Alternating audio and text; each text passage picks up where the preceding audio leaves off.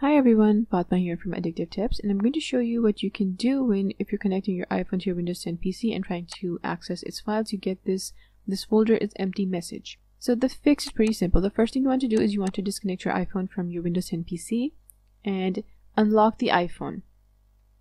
Once the iPhone is unlocked, go ahead and connect it to your Windows 10 PC again in its unlocked state.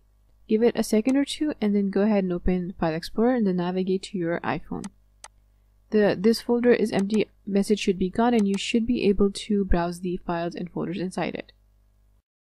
If you still see that this folder is empty message, what you need to do is you need to look at your phone. You might see a message there asking to trust the computer. Go ahead and tap trust and then enter the passcode for your iPhone. Once you do that, the files in your iPhone are going to be accessible from your Windows 10 PC. Thanks for watching. I'll see you later with more tech tips.